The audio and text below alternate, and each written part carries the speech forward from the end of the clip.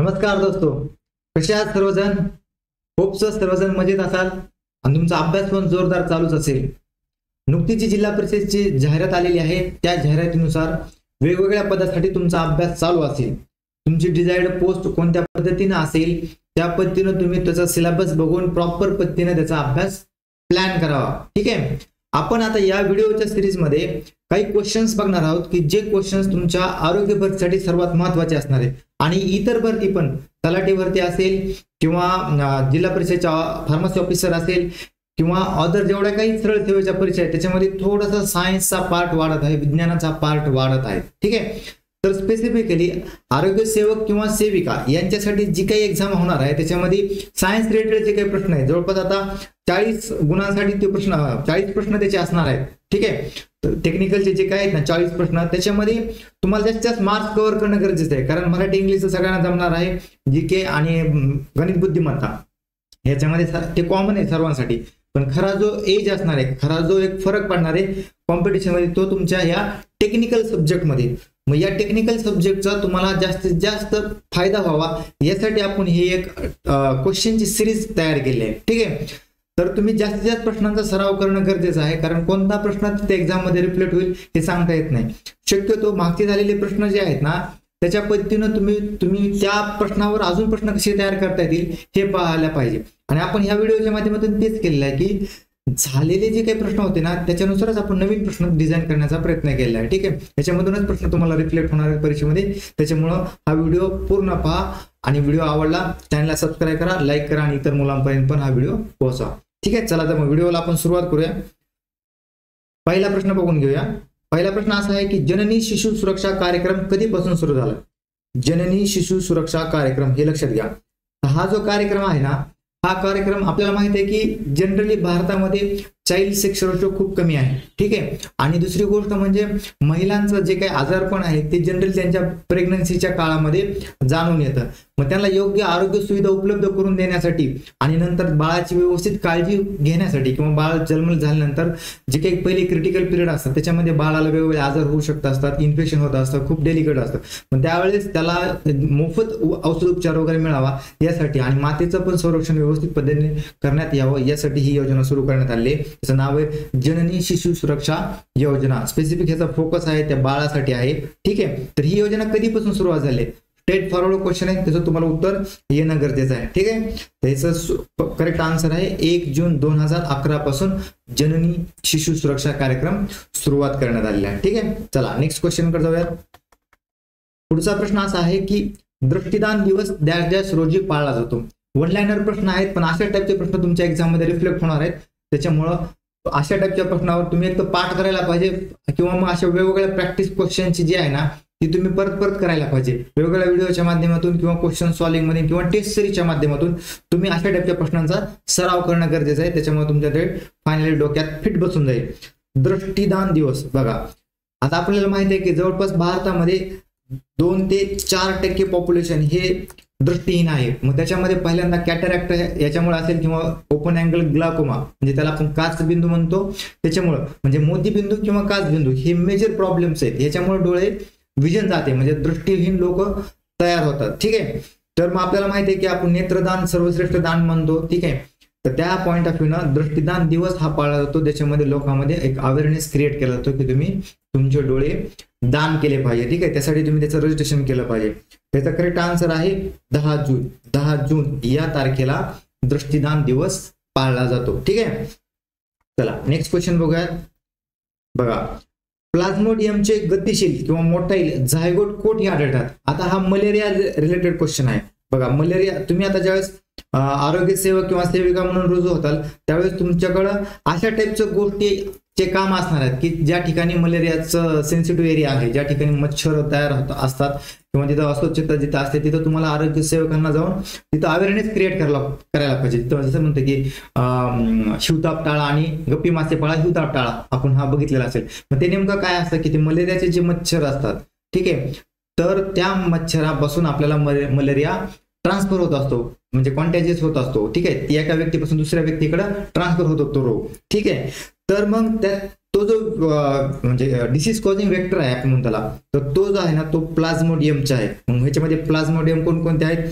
तर plasmodium malariae plasmodium plasmodium याच्या वेक्टरचे कोणकोणते आहेत? चार टाईपचे असतात याच्यामध्ये जसं की प्लाझ्मोडियम व्हॅली पुन्हा दुसरा आहे प्लाझ्मोडियम मलेरी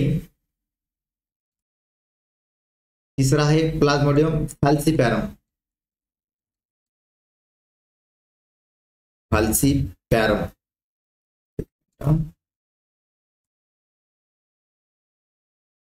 फॅल्सिपॅरम।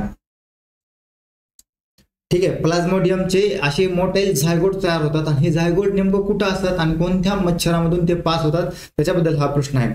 मग त्यांनी ऑप्शन दिलेत की मानवी यकृतामध्ये असतात का? मानवी आरबीसी मध्ये असतात का? का मादी अॅनाफिलसचे आतडे तिथं असतात का? का मेंदूमध्ये असतात?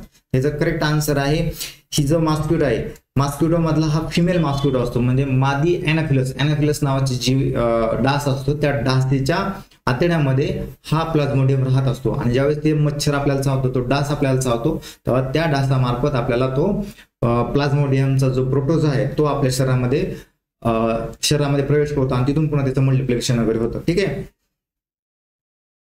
तर याला म्हणतात काय म्हणतात? मलेरिया. ठीक आहे? मलेरिया रोग हिवताप. चला नेक्स्ट क्वेश्चन बघूयात. डॉटचे पूर्ण रूप काय आहे? डी ओ टी एस या शब्दाचे पूर्ण रूप काय आहे? बघा अशा टाईपचे प्रश्न तुम्हाला विचारले जाणार आहे त्याच्यामुळे तुम्ही शंभर टक्के अशा टाईपच्या प्रश्नांचं माहिती असणं गरजेचं आहे. कारण आरोग्य सेवक आणि सेविका यांना आता जे भारतामध्ये टीबीचं जे काही प्रसार आहे किंवा टीबीचा रोगला कंट्रोल करण्यासाठी गव्हर्नमेंट खूप जास्त पद्धतीनं प्रयत्न करत आहे. आणि आपल्या देशानं डिक्लेअर केलं की तुम्ही ते कमेंटमध्ये नक्की कळवा की आपल्या देशाने एक टार्गेट केलेलं आहे की या तारखेपर्यंत किंवा या इयरपर्यंत आपण आपला भारत टीबी मुक्त करणार आहोत. युनायटेड नेशननं ह्याच्याबद्दल काही गाईडलाईन्स दिलेले आहेत ठीक आहे? तर टीबी मुक्त करण्यासाठी जी सगळ्यात महत्वाची जी ट्रीटमेंट आहे ना ती ट्रीटमेंट आहे आपली डॉट्स ट्रीटमेंट त्याचा लॉंग फॉर्म विचारलाय. हा डॉट्स हा शॉर्ट फॉर्म आहे. तो काय आहे? तर directly observe treatment course directly observe treatment short course directorate observation treatment short scheme किंवा डायरेक्शन अँड ऑब्झर्वेशन ट्रीटमेंट बघा याचा करेक्ट आन्सर आहे. Directly observe treatment short course हा म्हणजे काय असतं? वेगवेगळ्या मेडिसिनचं एक कॉम्बिनेशन केलेलं असतं. जसं की रिपॉम्पिसिन वगैरे जे टीबीसाठी वापरलेले मेडिसिन्स असतात त्यांचं एक कॉम्बिनेशन केलं असतं आणि त्याचा एक फॉलोअप असतं. म्हणजे पर्टिक्युलर टाईपने त्याचे डोसेस दिलेले असतात. कमी काळामध्ये या डोसेसचं एक इम्प्लिकेशन केलं जातं किंवा हे डोसेस दिले जातात. याला म्हणतात डॉट्स ट्रीटमेंट ठीक आहे? ही टीबीसाठी स्पेसिफिकली केली जाते. त्याच्यामुळं महत्वाचं हे आहे तुम्हाला हा टॉपिक महत्त्वाचा आहे. फोकस करा. ठीक आहे? पुन्हा अशा टाईपचे कोणकोणते व्हॅक्सिन्स पण आपल्या शरीरामध्ये लहान बाळापासून ते अडल्ट पर्यंत दिले जातात त्याच्याबद्दल पण तुम्ही माहिती काढणं गरजेचं आहे. चला नेक्स्ट क्वेश्चन बघूया. नेक्स्ट क्वेश्चन आहे भारतीय राज्यघटनेनुसार आरोग्य हा कोणत्या सूचीमधील विषय आहे? बघा राज्यघटनेनुसार प्रश्न आहे पण हे आरोग्य या टॉपिकला फोकस केलेला आहे त्याच्यामुळे तुम्हाला हा प्रश्न माहीत असणं गरजेचं आहे. थोडंसं पॉलिटी ओरिएंटेड म्हणजे आपलं जे संविधान आहे त्याच्या ओरिएंटेड हा प्रश्न आहे. भारतीय राज्यघटनेनुसार आरोग्य आपल्याला माहिती आहे की तीन टाईपच्या सूची असतात. एक असतं ती संघ सूची दुसरी राज्य सूची आणि तिसरी असते ती समवर्ती सूची. मग ह्या सूचीमध्ये वेगवेगळे विषय दिलेले असतात आणि त्या विषयानुरूप त्या त्या राज्यांना त्यात म्हणजे केंद्राला त्यांचे त्यांचे अधिकार आणि कर्तव्य त्याच्यानुसार बहाल केलेले असतात. ठीक आहे? तर आरोग्य हा विषय कोणाकडे असणार आहे? तर आरोग्य हा विषय जो आहे तो राज्य सूचीमध्ये आहे. करेक्ट आन्सर आहे राज्य सूची कारण आरोग्याच्या रिलेटेड ज्या काही योजना ज्या काही गोष्टी करायच्या असतात ते सर्व गोष्टी राज्य स्वतः करत असतात. ठीक आहे? कारण राज्य आरोग्य हा विषय राज्य सूचीमध्ये असते. आता तुम्ही कमेंटमध्ये एक गोष्ट सांगा की मग शिक्षण हा विषय कोणाकडे आहे? तुम्ही आता आरोग्य सेवक होणार आहे तर आरोग्य आणि शिक्षण ह्या दोन गोष्टी खूप पॅरल असतात. ठीक आहे? त्याच्यामुळे तुम्हाला याच्याबद्दल पण माहिती असणं गरजेचं आहे. तर शिक्षण हा विषय कोणत्या सूचीमध्ये आहे हे तुम्ही मला कमेंटमध्ये कळवायचे. ठीक आहे? चला नेक्स्ट क्वेश्चन बघूयात. नेक्स्ट क्वेश्चन काय आहे? चिकनगुनिया विषाणूमुळे येणाऱ्या तापाचा शोध एकोणीसशे त्रेपन्नमध्ये कोणत्या देशात लागला? बघा आता चिकनगुनिया. हा ऍक्च्युली विश्व लक्षात घ्या बऱ्याच मुलांचं कन्फ्युजन आहे. हा विषाणूमुळे रोग होतो. चिकनगुन्या हा रोग जो आहे इव्हन डेंगू हा जो रोग आहे हा व्हायरल डिसीज आहे. ठीक आहे? बऱ्याच जणांचं इथं कन्फ्युजन आहे बऱ्याच जणांना माहीत नाहीये ठीक आहे? तर कन्फर्म करून घ्या. जर तसा प्रश्न विचारला की चिकनगुन्या खालीलपैकी कोणत्या ह्यानं होतो डॅश करतात. मग दिलं तुम्हाला जीवाणू विषाणू प्रोटोझा म्हणजे आदिजीव किंवा मायक्रो ऑर्गॅनिझम असं दिलं तर त्याचं करेक्ट आन्सर आहे. विषाणू व्हायरसेस समजला? तर मग चिकनो सॉरी चिकनगुनिया हा कोणत्या विषाणूमुळे होतोय? तर तो आहे त्याचा कोणता देश आहे? सुरुवात झालेली आहे याची. टांझानिया या देशामधून. समजलं? टांझानिया आफ्रिकेमधील टांझानिया या देशामध्ये चिकनगुन्याचा पहिला पेशंट सापडला होता. त्याला फिवर आला. आपल्याला माहिती आहे का? आपण त्याला आकड्या रोग पण म्हणतो. कारण सांधे जे असतात त्या सांध्यामध्ये जे मसल स्टिफनेस म्हणतो ते सांधे आपले लॉक होतात. हलताच येत नाही आपल्याला. अशा टाईपचा हा चिकनगुन्या हा रोग आहे. ठीक आहे? तर याचा सुरुवात कुठून झाली आहे? तर याची सुरुवात आहे टांझानिया या ठिकाणी. कधी झालेली आहे? हा प्रश्न पण महत्त्वाचा आहे. एकोणीसशे त्रेपन्नमध्ये पहिला पेशंट त्याचा आढळलेला चिकनगुन्याचा चला नेक्स्ट क्वेश्चन बघूयात आपण. नेक्स्ट क्वेश्चन आहे सिकेल सेल अनिमिया हा आजार कशाशी संबंधित आहे? आता हा पण थोडासा जेनेटिक ओरिएंटेड आजार आहे. आणि या आजाराची माहिती असतं तुम्हाला महत्वाचं काय कारण आरोग्य सेवक सेविका यांच्या प्रश्नपत्रिकेमध्ये जे काही कॉमन डिसीज आहेत मग बॅक्टेरियल डिसीज असेल म्हणजे जीवाणूजन्य जे डिसीज आहेत रोग आहेत ते असतील. विषाणूजन्य जे रोग आहेत ते असतील. किंवा मग आपण त्याला काय म्हणतो कॉन्टॅजियस किंवा नॉन कॉन्टॅजियस म्हणजे संसर्गजन्य किंवा असंसर्गजन्य यासारख्या रोगांवर तुम्हाला शंभर टक्के प्रश्न येणार म्हणजे येणार. आणि कॉमनली ज्याच्यावर गव्हर्नमेंट आपलं खूप चांगल्या पद्धतीनं काम करत आहे आणि सध्या जे प्रचलित रोग आहेत जसं की आता कोरोना होऊन गेला त्याच्यावरच्या वेगवेगळ्या लस त्याच्यावर पण आपण त्या गोष्टी आपण पुढच्या व्हिडिओमध्ये पुढच्या क्वेश्चन सिरीजमध्ये ते घेणारच आहोत. ठीक आहे? मग सिकेल सेल अनिमिया हा आजार कशाशी संबंधित आहे असं जर तुम्हाला विचारलं तर त्याचा करेक्ट आन्सर असणार आहे लाल रक्तपेशी ज्याला आपण आरबीसीज असं म्हणतो. ठीक आहे? रेड ब्लड कार्पस्कल्स ठीक आहे? तर मग पांढऱ्या रक्तपेशीला काय म्हणतात हे पण तुम्ही कमेंटमध्ये कळवा ठीक आहे? आरबीसी यांच्यामध्ये नेमकं काय होतं? तर आरबीसीची संख्या खूप कमी होते ठीक आहे? सिकेल सेल आणि अनिमिया याच्यामध्ये काय होते? आरबीसीची जी आहे ना ते संख्या पण कमी होते आणि त्यांचा जो आकार आहे जसे आपल्याला माहिती आहे की आरबीसी एक बिनशेप्ट असते. म्हणजे कसं? अशा टाईपची आरबीसी आपल्याला दिसते. ज्यावेळेस तुम्ही आरबीसीचं स्ट्रक्चर पाहिलं अशा टाईपमध्ये असतं. परंतु सिकल सेल आणि झालेल्या व्यक्तीमध्ये जे आरबीसीचं जे स्ट्रक्चर आहे ना ते कुठंतरी अशा टाईपमध्ये दिसेल. ठीक आहे? म्हणजे एक विळ्यासारखा आकार तयार होतो. आपण जो शेतामध्ये वगैरे वापरणारा जो विळा असतो त्या विळ्यासारख्याचा आकार तयार होतो म्हणून त्याला सिकल सेल अनिमिया असं म्हणतात. ठीक आहे? तर ही आरबीसी रिलेटेड आहे. लाल रक्तपेशी तुम्हाला गोष्ट क्लिअर झाली असेल. चला नेक्स्ट क्वेश्चन बघूयात. Question number eight swine flu हा विषाणूजन्य रोग कशामुळे होतो? हा बघा स्वाईन फ्लू हा सुद्धा एक जेवढे जेवढे फ्लू टाईपचे रोग आहेत ना एक तर हे स्प्रेड खूप जास्त होतात म्हणून त्याला फ्लू असं म्हणतात. हे लक्षात घ्या. कन्सेप्ट थोडंसं क्लिअर होणं गरजेचं आहे कारण विज्ञान हे थोडं कन्सेप्च्युअलच असतं. ते जर तुम्हाला समजलं तर तुम्हाला उत्तर बरोबर मारता येतात. ठीक आहे? मग स्वाईन फ्लू हा विषाणूजन्य जर रोग आहे तर मग कोणत्या टाईपचा विषाणू ह्याच्यामध्ये असतं कारण मला वाटतं दोन हजार सहा सात मध्ये स्वाईन फ्लूचा उद्रेक पुण्यामध्ये खूप जास्त झाला होता. आणि खूप म्हणजे इमर्जन्सी सारखी कंडिशन तयार झाली होती. जसं की आता कोरोनाच्या वेळेस झाली होती. ठीक आहे? तर हा स्वाईन फ्लू हा एच वन एन वन या टाईपच्या व्हायरसनं होतो. त्याला नाव दिलेलं आहे एच वन एन वन ठीक आहे? समज. चला आता पुढे बघून घेऊयात आपण. की हा एच वन आणि एन फाईव्ह किंवा N nine H five N one याला काय म्हणतात? एच फाईव्ह एन वन याला म्हणतात बर्ड फ्लू हा जो पक्षामध्ये आपण पाहत असाल की जेव्हा बर्ड फ्लू आला की नॉनव्हेज खायचं बंद करतात मुलं वगैरे.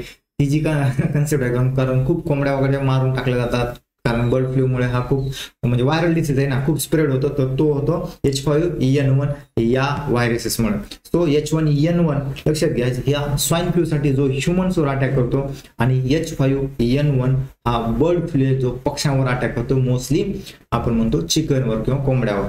चला नेक्स्ट क्वेश्चन नेक्स्ट क्वेश्चन आहे विश्व आरोग्य संघटना या संस्थेचे मुख्यालय कोणत्या देशात आहे? बघा आता हा प्रश्न काय आहे? मुख्यालय ओरिएंटेड आहे. डब्ल्यूएचओ वर्ल्ड हेल्थ ऑर्गनायझेशन ह्याचं हेडक्वार्टर कुठं आहे? असा प्रश्न विचारलाय. तर ह्याचं हेडक्वार्टर कुठं आहे मित्रांनो? ह्याचं हेडक्वार्टर आहे जिनेवा या ठिकाणी. जे काही कोणकोणते डिसीजेस ह्याला आणीबाणी घोषित करायची किंवा एखाद्या देशाला जर तो रोग तो डिसीज मुक्त झालेला आहे जसं की आता आपण करंटली पोलिओ मुक्त म्हणून डिक्लेअर करण्यात आलेलो आहोत. ठीक आहे पोलिओ आपण कम्प्लिटली इरॅडिकेट केलं आहे. त्याचं कारण असं आहे की आपल्याला डब्ल्यू एच जसं सर्टिफिकाय सर्टिफिकेशन दिलेलं आहे की तुम्ही पोलिओ मुक्त झालेले आहात. परंतु आपला जे शेजारी देश आहे पाकिस्तान अफगाणिस्तान हे देश आहेत हे अजून खूप पोलिओच्या रोगानं परबटलेले आहेत. त्याच्यामुळे आपल्यावर परत पोलिओ होण्याची शक्यता जास्त आहे. ठीक आहे? तरी पण ही जी संस्था आहे ना ही डिक्लेअर करत असते. किंवा एखादा असा कुठला आजार आहे तो आजाराबाबतीत तो म्हणजे संसर्जन आहे का?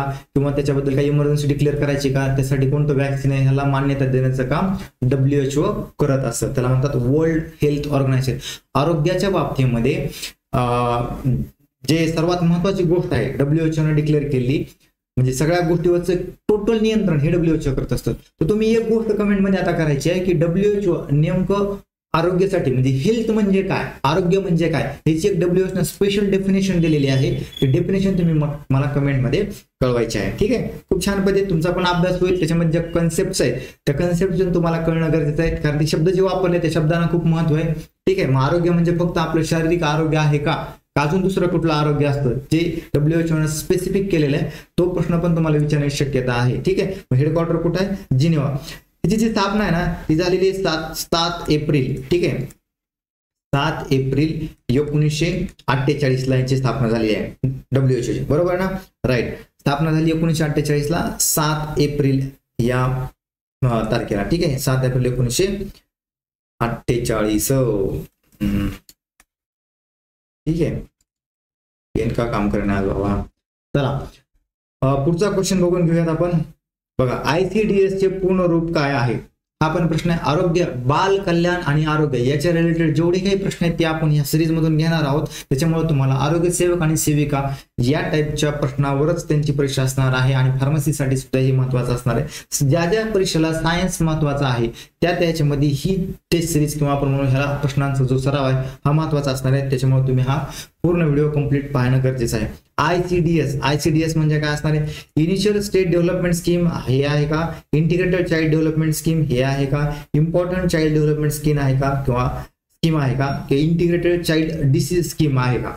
आता इथं बरेच जणांचं कन्फ्युजन होऊ शकतं की इंटिग्रेटेड चाइल्ड डिसीज स्कीम असेल पण नाही. तर याचा करेक्ट आन्सर आहे ऑप्शन क्रमांक two integrated child development scheme ठीक आहे? याच्या अंतर्गतच मग मुलांसाठी पोषण आहार वगैरे दिला जातो ठीक आहे? मुलांचं जे काही सुरुवातीच्या काळामध्ये त्यांच्या डेव्हलपमेंटसाठी जेवढी जेवढी ट्रीटमेंट म्हणजे लस असेल किंवा त्याचं पोषण असेल किंवा त्यांच्यासाठी असलेलं एज्युकेशन असेल या सर्व गोष्टी या आय सी डी एसच्या अंतर्गत आपल्याला अंगणवाडीमध्ये त्यांना वेगवेगळ्या लस दिल्या जातात. वेगवेगळे पोषणासाठीचे जे प्रोग्राम्स असतात किंवा पोषणासाठीचे दिलेले काही गोष्टी असतात ते आपल्याला आयसीडीएस या स्कीमच्या माध्यमातून मिळत असतात. आपण अंगणवाडी बघत असाल की भात वगैरे मिळत असतो पोषणाचे वेगवेगळे डोसेस मिळत असतात. राईट सो नेक्स्ट क्वेश्चन बघूयात आपण. नेक्स्ट क्वेश्चन आहे इबोला या रोगाचे विषाणू सर्वप्रथम कधी आढळून आले? सर्वप्रथम म्हटलं इबोला इबोला हा पण व्हायरल डिसीज आहे हा पण विषाणूजन्य रोग आहे आणि ह्यानं पण खूप थैमान मांडलं होतं. हा थैमान कुठं मांडलं होतं? तर कॉंगो या देशामध्ये आफ्रिकन देशामध्ये जनरली अशा टाईपच्या रोगांचा उद्रेक होत असतो. आणि तो जो आहे तो इबोला हा जो व्हायरस आहे ह्यानं पण खूप मिडल ईस्टमध्ये सॉरी आफ्रिकन कंट्रीमध्ये आणि मेडिटेरियन सीच्या त्या भागामध्ये खूप जास्त आहे ना थैमान मांडलं होतं. इबोला व्हायरस हा कधी आलेला होता? हा आला होता सुरुवातीला एकोणीसशे शहात्तर ला ऍक्च्युअल डेटा एकोणीसशे शहात्तर. पाठ करा. ठीक आहे? चला नेक्स्ट बघूयात. पेंटाव्हॅलेंट या लसीचा वापर कोणत्या रोगावर होतो? आता इथं बघा इथं लॉजिक आहे. लॉजिक कसं आहे? पेंटाव्हॅलेंट ऑलरेडी इथं तुम्हाला दिलंय पेंटा म्हणजे समथिंग रिलेटेड टू फाईव्ह ठीक आहे. समथिंग रिलेटेड टू फाईव्ह ज्याच्याशी संबंध आपण म्हणतो की पेंटाव्हॅलेंट अशी काहीतरी लस असणार आहे की जी लस पाच कामासाठी उपयोगाला येत आहे. म्हणजे पाच कोणते रोग आहेत? तर पाच रोग आहेत. डांग्या खोकला धनुर्वात इन्फ्लुएन्झा बी हिपॅटायटिस बी घटसर्प ठीक आहे? झाले का पाच? म्हणून ही जी आहे ना पेंटाव्हॅलेंट लस वरीलपैकी सर्व रोगावर लागू होते. ठीक आहे? अशा टाईपमध्ये दुसरी एक लस आहे खूप फेमस आहे. बीसीजी बरोबर? तर बीसीजी लस काय आहे? लॉंग फॉर्म पण तुम्ही सांगा कमेंटमध्ये आणि कोणत्या रोगासाठी स्पेसिफिकली वापरली जाते हे पण तुम्ही कमेंटमध्ये कळवा. चला नेक्स्ट क्वेश्चन बघूयात आपण. सध्या केंद्रीय आरोग्य व कुटुंब कल्याण मंत्री कोण आहेत? केंद्रीय म्हटलंय केंद्रीय ह्या शब्दाला फोकस करा. केंद्रीय ठीक आहे? केंद्रीय म्हणजे काय? केंद्र सरकारच्या जे काही मंत्रालय आहे त्या पोर्टफोलिओमध्ये आरोग्य व कुटुंब कल्याण मंत्री सध्या कोणाकडे हे पद दिलेलं आहे? तर हे पद दिलेलं आहे डॉक्टर मनसुख एल मांडविया यांच्याकडे दिलेला आहे. फॅक्च्युअल डेटा आहे. बरेच कन्फ्युजन होऊ शकतं स्मृती इराणी सोबत कारण त्यांच्याकडे अगोदर होतं. आणि आता तुम्ही महाराष्ट्र गव्हर्नमेंटचं जे आरोग्य व कुटुंब कल्याण मंत्रालय आहे ते कोणाकडे आहे तुम्ही कमेंटमध्ये कळवा. चला नेक्स्ट क्वेश्चन बघूया. हाडामध्ये डॅश डॅश हा तंतुमय पदार्थ असतो. ठीक आहे? बरेच जण तिथं कन्फ्युजनमध्ये जातात की हाडामध्ये नेमकं काय असतं? हाडामध्ये कॅल्शियम बी असतं कोलेजन बी असतं फॉस्फरस असतं मॅग्नेज पण असतो. ठीक आहे? प्रश्न काय विचारलाय? हाडामध्ये कोणता तंतुमय पदार्थ? तंतुमय. ठीक आहे? फायब्रस ठीक आहे? त्याला काय म्हणतात? फायब्रस फायब्रस मॅटर कोणत्या ठिकाणी असतं? ठीक आहे? तो असतो कोल्याजन कोल्याजन जन लक्षात ठेवा. हा तंतुमय पदार्थ आहे. बऱ्याच जणांनी कॅल्शियम मारला असेल फॉस्फरस पण हे चुकतंय कारण तंतुमय पदार्थ हा कोलॅजन हा असतो. ठीक आहे? समजला? चला नेक्स्ट बघूयात आपण. केंद्र सरकारने कोणत्या साली राष्ट्रीय ग्रामीण आरोग्य अभियान सुरुवात केले? National rural health mission. N R H M. खालीपैकी कोणत्या सुरुवात कोणत्या साली सुरुवात केली असा प्रश्न विचारलाय तर याचं करेक्ट आन्सर असणार आहे दोन हजार पाच. या अभियानाच्या अंतर्गतच आपल्या ग्रामीण भागामधलं आरोग्याच्या सर्व सेवा सुविधातले जे काही हॉस्पिटल्स आहेत त्यांच्यामध्ये मॉडिफिकेशन घडून आणणं आणि जेवढ्या काही गव्हर्नमेंटच्या स्कीम्स आहेत त्या स्कीम या अभियानाच्या अंतर्गत एकत्रित करून या अभियानाच्या माध्यमातून आरोग्य ग्रामीण भागातलं आरोग्य सुधारण्यासाठी गव्हर्नमेंटनं खूप जास्त पद्धतीने प्रयत्न केले. आणि हे लक्षात घ्या हे केंद्र सरकारचं आहे. केंद्र सरकारने यासाठी डायरेक्ट फंडिंग केलेलं आहे. ठीक आहे? केंद्र सरकारची ही योजना आहे किंवा हे एक मिशन आहे अभियान आहे. याच्या अंतर्गतच आपल्या म्हणजे ग्रामीण भागामधील सेक्स रेशो असेल तो खूप चांगल्या पद्धतीने वाढला असेल माता मृत्यू दर असेल किंवा चाइल्ड मृत्यू दर असेल हा पण खूप कंट्रोलमध्ये आलेला आहे. दोन हजार पाच नुसार ही योजना सुरू झालेली आहे. चला नेक्स्ट क्वेश्चन बघूयात आपण. मुडदूस हा जो रोग आहे हा कोणत्या जीवनसत्वाच्या अभावामुळे किंवा कमतरतेमुळे होतो? ठीक आहे? आता जीवनसत्वाबद्दल आपल्याला हा प्रश्न आहे. ठीक आहे? मग तुम्हाला इथं काय काय माहीत पाहिजे? तर कोणकोणते जीवनसत्व आहेत? त्यांचं सायंटिफिक नाव काय आहे? ठीक आहे? त्या नावाच्या बाबतीत आणि किंवा त्यांच्या डेफिशियन्सीमुळे कोणकोणत्या टाईपचे रोग होतात हे तुम्हाला माहीत असणं गरजेचं आहे. आणि सर्वात महत्वाचं म्हणजे ते विटॅमिन्स किंवा ते जीवनसत्व आपल्याला कोणत्या पदार्थामधून मिळतात? या टाईपचे एक चार्ट बनवा. सर्व प्रश्न तुमचे या जीवनसत्वावर किंवा पोषण मूल्यावरचे क्लिअर होऊन जाते ठीक आहे? तर सांगा मग मला मृदूस हा जो रोग आहे तो कोणत्या जीवनसत्वाच्या अभावामुळे होतो त्याचा करेक्ट आन्सर आहे व्हिटॅमिन डी किंवा आपण त्याला ड जीवनसत्व असं म्हणतो. याच्या अभावामुळे मृदूस जनरली हा इंग्लिशमध्ये ह्याला रिकेट्स असं म्हणतात ठीक आहे? लहान मुलामध्ये जनरली हा रोग सापडतो आपल्याला ठीक आहे? तर हा रोग कशामुळे होतो? तर हा रोग सापडतो डी जीवनसत्वाच्या डेफिशियन्सीमुळे कारण आजकाल तर खूप लहान मुलांमध्ये हा रोग दिसून येत आहे. कारण मुलं बाहेर खेळायचं नाही. त्यांच्याकडे मोबाईल असतो घरी टीव्ही वगैरे असतात सगळे सोशल मीडिया वगैरे असतात त्याच्यामुळे ते मुलं किंवा पबजी वगैरे गेम खेळत बसलेले असतात. मोबाईलचं ॲडिक्शन झालेलं असतं. त्यामुळे बाहेर वातावरणामध्ये सकाळच्या कोवळ्या उन्हामध्ये त्यांचं जाणं कमी होतं. त्याच्यामुळे सूर्यापासून निघालेली किरण जी व्हिटॅमिन डी क्रिएट करण्यासाठी तयार करण्यासाठी महत्त्वपूर्ण असतात. परंतु ते तयार केले जात नाहीत म्हणून व्हिटॅमिन डी ची डेफिशियन्सी खूप लोकांमध्ये आहे खूप मुलांमध्ये दिसून येते. सो त्यांना मग त्याला म्हणतो आपण मृदूच हा रोग झाला असं म्हणतो. ठीक आहे? तर मग मला सांगा आता व्हिटॅमिन ए च्या डेफिशियन्सी कोणता होतो? तर रात आंधळेपणा. रात आंधळेपणा. हा रोग कशामुळे होता? व्हिटॅमिन एच्या डेफिशियन्सीमुळे ठीक आहे. पुन्हा व्हिटॅमिन क च्या डिफिशियन्सीमुळे काय होतं? व्हिटॅमिन के हे हे कशासाठी असतं? रक्त गोठण्यासाठी हे असतं. ब्लड क्लॉटिंग ब्लड क्लॉटिंगसाठी आपल्याला व्हिटॅमिन के ची मदत होते. ठीक आहे? ज्या शरीरामध्ये व्हिटॅमिन के नाहीये त्यांच्या याच्यामध्ये ब्लड क्लॉटिंग होत नाही. एकदा ब्लड बाहेर आलं की ते फ्लो तसंच राहतो आणि माणसाचे डेथ पण होण्याची शक्यता असते. ठीक आहे? व्हिटॅमिन बी आता याच्यामध्ये भरपूर आहेत. जसं की बी वन आहे ज्याच्यामुळे बेरी बेरी हा डिसीज होतो. बी टू आहे. बी सेवन आहे बी नाईन आहे. ठीक आहे? खूप वेगवेगळे त्याच्यामध्ये त्यांचे नावं काय आहेत हे तुम्हाला माहीत पाहिजे आहे. ठीक आहे अशा टाईपमध्ये तुम्ही काय करायचंय की या विटॅमिनची एक लिस्ट काढायची विटॅमिनचं सायंटिफिक नाव विटॅमिनचे डेफिशियन्सी झाल्यानंतर कोणता रोग होतो आणि विटॅमिन्स हे कोणत्या सोर्सपासून मिळतात किंवा कोणत्या पदार्थापासून आपल्याला मिळत असतात. दुसरी एक गोष्ट काय एक लक्षात ठेवण्याची गोष्ट अशी आहे की कोणते फॅट सोलेबल आहेत. आणि कोणते वॉटर सोलेबल आहेत हे एक लक्षात ठेवायचं. कारण ह्याच्यावर पण प्रश्न विचारतात जसं की फॅट सोलेबल म्हणजे चार असतात. ए डी ई आणि के हे फॅट सोलेबल आहेत. आणि बाकी पुन्हा बी आणि सी हे जे आहेत ना हे वॉटर सोलेबल विटॅमिन्स आहेत. ठीक आहे? अशा टाईपमध्ये लक्ष ठेवायचं. चला नेक्स्ट क्वेश्चन बघूयात आपण. दुधातील शर्करेचे नाव कोणते आहे? बघा. जनरली वेगवेगळ्या जे काही गोड पदार्थ आपण खात असतो त्याच्यामध्ये एक पर्टिक्युलर टाईपची शुगर किंवा शर्करा असते. ठीक आहे? तर मग ते कोणत्या पदार्थामधून कोणत्या टाईपची शर्करा मिळते याची पण माहिती असणं गरजेचं आहे. जसे की दुधामध्ये लॅक्टोज शुगर असते. कोणती असते शुगर लॅक्टोज हे लक्षात घ्या. ग्लुकोज कुठं असतं मग? ग्लुकोज हे जनरली मोस्ट ऑफ जेवढे काही धान्य वगैरे आहेत जेवढे काही गोड पदार्थ आहेत त्याच्यामध्ये आपण ग्लुकोज किंवा ग्लुकॉन जे आपण घेतो त्याच्यामध्ये ग्लुकोज असतं राईट फ्रुक्टोज कुठं असतं? फ्रुक्टोज हे फळामध्ये असतं. फळामध्ये जे काही गोड फळं आहेत आपण फळं खातो जे गोड लागतात पण ते गोड का लागतात? तर त्याच्यामध्ये फ्रुक्टोजची शुगर असते. त्याच्यामध्ये ते गोड लागत असतात. नेक्स्ट बघूया. लॅक्टोज पहिला दुधामध्ये असतं. माल्टोज कुठं असतं? माल्टोज जनरली ज्वारी किंवा बाजरी यासारख्याचे जे तृणधान्य आहेत ह्या तृणधान्यामध्ये माल्टोज शुगर आपल्याला आढळून येते. चला. दुधामध्ये शिरकेचं कोणतं आहे? त्याचं करेक्ट आन्सर ऑप्शन क्रमांक तीन लॅक्टोज नेक्स्ट क्वेश्चन बघूयात आपण. भारतातील पहिली महिला डॉक्टर कोण आहे? बघा हा पण खूप महत्त्वाचा प्रश्न आहे. जो इतिहासामध्ये रिफ्लेक्ट होतो. आपण अभ्यास पण केलेला असेल की भारतातील पहिली महिला डॉक्टर हा?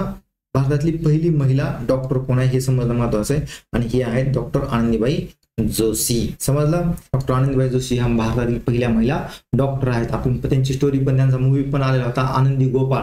अशा टाईपचे चांगले मूवी पाच जमवला ना त्याच्यामुळे आपला अभ्यास पण होत असतो. आणि महत्वाचं म्हणजे आपल्याला काही इतिहासामध्ये एक इन्स्पिरेशन जे आपण शिकायला पाहिजे ते आपल्याला मिळत असतं. कारण डॉक्टर आनंदीबाई जोशींचं लाईफ खूप स्ट्रगलिंग होत म्हणजे झालीच होती. त्यांना इथून युएसए कडे जाणं गरजेचं पडलं. तिथं त्यांना अभ्यास करण्यासाठी खूप स्ट्रगल पण करावं लागलेलं आहे. शरीरानं पण साथ दिलेला नाही. ठीक आहे. मग पेनसाल्वा या ठिकाणून त्यांनी एक डॉक्टरेट डिग्री मिळवलेली आहे. कुठे मिळवली आहे? पेनसाल्विया पेनसाल्विनिया ठीक आहे. So correct answer doctor Anandibai Joshi. Next question आहे जागतिक आरोग्य दिन कधी आहे? आपण आताच पाहिलंय की जागतिक आरोग्य दिन हा डब्ल्यू एच ओ जी काही संघटना आहे ना वर्ल्ड हेल्थ ऑर्गनायझेशन ही जी संघटना आहे या संघटनेच्या स्थापनेचा जो दिवस आहे तो दिवस आपण वर्ल्ड हेल्थ डे किंवा जागतिक आरोग्य दिन म्हणून आपण साजरा करतो. मग आपल्याला एखाद्या वेळेस पुढचा जो प्रश्न असेल तो असणार की या आरोग्य दिनाची दोन हजार चोवीस ची सॉरी दोन हजार तेवीस ची एप्रिल होऊन गेला मग दोन हजार तेवीस किंवा चोवीस अशा एका इयरसाठीची थीम काय आहे? दोन हजार तेवीसची एप्रिल थीम काय आहे? ही तुम्ही कमेंटमध्ये कळवा आपल्याला. ठीक आहे? कमेंटमध्ये ऍड करा. डब्ल्यू एच ओची दोन हजार तेवीसची थीम कोणती आहे? कारण दरवर्षी त्यांची पर्टिक्युलर थीम असते त्या हेल्थ डेची तर आन्सर आहे सात एप्रिल. सात एप्रिलला आरोग्य दिन म्हणून साजरा केला जातो. ठीक आहे डब्ल्यूएचओची ही स्थापना दिवस आहे एकोणीसशे अठ्ठेचाळीस ला वर्ल्ड हेल्थ ऑर्गनायझेशन स्थापना करण्यात आली आणि आपण त्याचं हेडक्वार्टर पण बघितलेलं आहे. हेडक्वार्टर जे आहे ते जिनेवा या ठिकाणी आहे. ओके? चलो नेक्स्ट क्वेश्चन बघूयात. मानसिक असंतुलन हा कशाचा परिणाम आहे? आता बघा आपण पाहतो आता जन लवकरच आपले वेगवेगळे कार्यक्रम वगैरे चालू होत असतात लवकरच वेगवेगळे फंक्शन असतात. आणि या फंक्शनच्या काळामध्ये खूप मोठ्या प्रमाणामध्ये डीजेचं साऊंड चालू असतो कर्कश असे हॉर्न चालू असतात. मग याच्यामुळे काय होतं की आपल्या जी हिअरिंग कॅपॅसिटी आहे याचा तो लॉस होतच होतो. पण ते जे साऊंडमुळे तयार होणारे व्हायब्रेशन्स आहेत ते आपल्या ब्रेनवर पण निगेटिव्ह इम्पॅक्ट करत असतात. आणि त्याच्यामुळे आपलं मानसिक संतुलन बिघडू शकतं. तर याचा करेक्ट आन्सर आहे ध्वनी प्रदूषण. ध्वनी प्रदूषणामुळे शंभर टक्के माणसाच्या मान मानसिकतेवर परिणाम होतो. त्याला हेडेक होतो. तात्पुरतं हेडेक आहे. पण इन लॉंग रनमध्ये ज्यावेळेस जर ध्वनीचं जर कंटिन्युअस बंबारमेंट होत असेल तर त्या माणसावर मानसिक असंतुलनाचा आजार होऊ शकतो. ठीक आहे? त्याच्यामुळे लक्षात घ्यायचं आहे की दोन्हीपासून स्वतःला लांब ठेवायचं आणि स्वतः पण जास्त डिसिबलचा आता हेडफोन वगैरे आपण ऐकत असतो गाणे वगैरे तर तो खूप कमी आवाजामध्ये ठेवायचं त्याची वॉर्निंग आलेली असते. ज्यावेळेस तुम्ही साऊंडचं म्हणजे व्हॉल्यूम वाढवत असा त्यावेळेस तुम्हाला लगेच वॉर्निंग येते की याच्यापेक्षा जास्त वाढवलं तर it can damage your ears so लक्षात घ्यायचं की दोन्ही प्रदूषणामुळे मानसिक असंतुलन बिघडू शकतं. ठीक आहे लॉंग रनमध्ये आपले इयर डॅमेज होऊ शकतात. So control that next question बघूयात. विद्युत आणि चुंबकत्व यातील संबंध कोणत्या शास्त्रज्ञाने दाखवून दिला? आता थोडासा हा फिजिक्स ओरिएंटेड क्वेश्चन आहे. विद्युत आणि चुंबकत्व यांचा संबंध सांगणारा जो सायंटिस्ट आहे तो आहे हान्स ऑरेस्टेड यांनी आपण जो म्हणतो ना काय म्हणतात ते? चुंबकत्व जो असतो एक विद्युत धारा जर पास केली सपोज एक वायर आहे या वायरमध्ये जर इलेक्ट्रिसिटी पास होत असेल तर त्याच्या साईडनं एक चुंबकीय क्षेत्र तयार होतं. चुंबकीय क्षेत्र तयार होत होत असताना ते दुसऱ्याही गोष्टीवर अफेक्ट करतं. जर एखादी चुंबकीय गोष्ट त्या क्षेत्रामध्ये आणली तर त्याच्यावर तयार होणारं चुंबकीय क्षेत्राचं जे बल आहे ते त्या वायरवर किंवा त्या वस्तूवर अफेक्ट होत असतं. हे सिद्ध करून करून दाखवले. हे सिद्ध करून दाखवले हान्स ओरेस्टेड यांनी. ठीक आहे? समजा ही अशी वायर आहे आणि या वायरमध्ये जर करंट पास होत असेल समजा हा करंट पास झालेला आहे तर ह्याच्यामध्ये एक असं चुंबकीय क्षेत्र तयार होत असतं. हे चुंबकीय क्षेत्र तयार होण्याची जी काही डायरेक्शन वगैरे गोष्टी एक्सप्लेन केल्या त्या फोरेस्टर यांनी एक्सप्लेन केलेल्या आहेत. ठीक आहे? बाकी तुम्हाला माहीत असेल की फ्लेमिंगनं काय केलं आहे? मायकल फॅरेडे मायकल फॅरेडेचा लॉ तो पण एक ऊर्जेच्या रिलेटेड आहे मायकल फॅरेडे ठीक आहे? कुलोमच्या रिलेटेड आहे. लुईस पाश्चर लुईस पाश्चरने काय केलं हे पण माहिती तुम्हाला की मिल्कचं पाश्चरायझेशन करण्याची जी प्रोसेस आहे ती लुईस पाश्चर यांनी फाइंड आउट केले त्याच्यामुळे त्यांच्या नावानुसार त्याला आपण पाश्चरायझेशन मिल्क पाश्चरायझेशन ठीक आहे असं म्हणतो. चलो नेक्स्ट क्वेश्चन बघूयात आपण. मानवी मेंदूचा अभ्यास कोणत्या शास्त्रात केला आहे? मानवी मेंदूचा अभ्यास करणाऱ्या शास्त्राला काय म्हणतात? न्यूरोलॉजी कारण मानवी मेंदूमध्ये जो फंक्शनल आणि स्ट्रक्चरल घटक आहे तो आहे न्यूरॉन ठीक आहे? न्यूरॉनचा अभ्यास करणारं जे काही शास्त्र आहे त्याला म्हणतात न्यूरोलॉजी मग आता हे युरोलॉजी काय? तर युरोलॉजी हे युरिनचं रिलेटेड असतं. म्हणजे तुमचं किडनीचा अभ्यास करणारं शास्त्र असतं. मानसशास्त्र काय? आहे त्याला आपण सायकॅट्रिस्ट असं म्हणतो. ठीक आहे? सायकॅट्री म्हणजे मानसशास्त्र. ठीक आहे? किंवा मना माणसाचं मन आहे त्याचा अभ्यास करणारं शास्त्र. म्हणजे काय? मानसशास्त्र. चला नेक्स्ट क्वेश्चन बघूयात आपण. देवी या रोगावर होणाऱ्या शास्त्रज्ञ कोण देवी या रोगावर कोणत्या शास्त्राने लस शोधून काढली? असा प्रश्न आहे. लस शोधून काढलेला प्रश्न आहे बघा. कुठल्या रोगावर देवी. आता भारतामध्ये देवी पूर्णतः इरॅडिकेट झालेला आहे. तो निघून गेलेला आहे. परंतु सुरुवातीच्या काळामध्ये जर तुम्ही तुमच्या आजीला वगैरे विचारलं तर त्या काळामध्ये देवी रोग आल्यामुळे किती लोक घाबरून जायचे आणि त्या त्या रोगामुळं लोकांच्या चेहऱ्यावर म्हणजे स्किनवर तो डायरेक्ट इफेक्ट करायचा स्किनवर असे पुरळ यायचे आणि तो खूप म्हणजे एकदम हॅवाक रोग होता. कारण स्किनवर पुरळ येऊन त्याच्यातून पार पाणी वगैरे निघायचं आणि खूप विचित्र चेहरे तयार व्हायचे. जळून जायचे स्किन टोटली त्याच्यामुळं हा रोगापासून इराडिकेट होण्यासाठी भारताने खूप चांगल्या पद्धतीने काम केलेलं आहे. ठीक आहे? त्याचा जो शोध लावला पहिली लस जी शोध लावलेली आहे ती ऍडवर्ड जनरल सॉरी हे ऍडवर्ड जनरल असं आहे. ऍडवर्ड जनरल ठीक आहे? रॉबर्ट हुक नाही लोईस पाश्चर नाही मायकेल फॅरेड नाही रॉबर्ट हुकनं काय शोध लावला? यानं पहिल्यांदा पेशीचा शोध लावलाय हे लक्षात असू द्या तुम्हाला पहिल्या पेशीचा जो शोध लावलाय तो रॉबर्ट हुक यांना लावलेला आहे. लुईस पाश्चर आपण बघितलं पाश्चर मायकेल फॅरेड यांना बघितलं आपण. मायकल फॅरेडे फॅरेडेचा लॉ जो आपल्या फिजिक्स मधला फॅरेडेचा लॉ फेमस आहे. ठीक आहे? चला नेक्स्ट क्वेश्चन बघूयात आपण. मानवी शरीरातील सर्वात लहान हाड कोणता आहे? आता स्केलेटल रिलेटेड हा प्रश्न आहे. आपल्या जे वेगवेगळ्या संस्था असतात त्या संस्थेच्या नुसार आपल्याला प्रश्न विचारत असतात. जसं की रक्ताभिसरण संस्था आहे अस्थि संस्था आहे मानवी काय पचन संस्था आहे मानवी शोषण संस्था आहे. ठीक आहे? तसंच ही स्केलेटल संस्थेमधला हा प्रश्न आहे की लहान हाड नाही का? स्मॉलेस्ट बोन कोणता आहे? तर हे बोन कोणत्या अवयवाशी संबंधित आहे असं विचारलं तर हे आहे आपल्या कानामध्ये. लक्षात घ्या कानामध्ये तीन टाईपचे बोन असतात त्याला एम आय एस असं म्हणतात. कोणतं मॅलस इनकस आणि स्टेपस ह्या तीन टाईपचे आहेत आणि याच्यापासून असं त्यांचा उतारता क्रम आहे. आणि हे जे आहे ना हे सगळ्यात लहान बोल आहे. जे एस आहे small for steps steps for small small म्हणजे लहान. आपल्याला प्रश्न विचारला की कोणता आहे? ते तुम्हाला माहीत पाहिजे. स्टेपस नावाचं बोन आहे. हे मानवी शरीरातील सर्वात लहान बोन आहे. तर मग आता तुम्ही कमेंटमध्ये काय करायचे सर्वात मोठे किंवा सर्वात लांब म्हणू आपण. मोठे नाही खूप. सर्वात लांब. मानवी शरीरातील सर्वात लांब कोणते बोन आहे? किंवा कोणते हाड आहे? ते तुम्ही मला कमेंट करायचे आहे. कमेंटमध्ये कळवा. कारण तुम्ही जेवढं ऍक्टिव्हली पार्टिसिपेट राहताल या सर्व गोष्टीमध्ये तेवढं तुमचा अभ्यास चांगला होणार आहे. कारण तुमचं अटॅचमेंट आपल्या ह्या व्हिडिओ सोबत राहणार आहे. आणि त्याचा फायदा असा होणार आहे की तुमच्या त्या गोष्टी लक्षित राहणार आहे. कारण तुमच्या ते कमेंट करते वेळेस बाकीचे मुलं पण ते वाचत असतात. आणि सर्वात महत्वाची गोष्ट आहे तुम्ही ती कमेंट केल्या तुमच्या डोक्यात ते फिट होऊन जातात. त्याच्यामुळे कमेंट करायला हायकी करायची नाही. ठीक आहे? चला नेक्स्ट क्वेश्चन आहे. बघूया नेक्स्ट क्वेश्चन काय आहे? हॉस्पिटल प्रमुखाला काय म्हणतात आता थोडंसं हॉस्पिटल फार्मसी रिलेटेड किंवा एक आरोग्याच्या रिलेटेड तुम्ही असल्यामुळं अशा टाईपचा आपण हा प्रश्न घेतलेला आहे हॉस्पिटल प्रमुखाला काय म्हणतात जनरली आपल्याला माहीत पण नसते काय म्हणतात. त्याला आपण सुपरिटेंडंट असं म्हणतो. काय म्हणतो त्याला सुपरिंटेंडंट सुपरिंटेंडंट म्हणजे याला काय म्हणतात? अधीक्षक. ठीक आहे?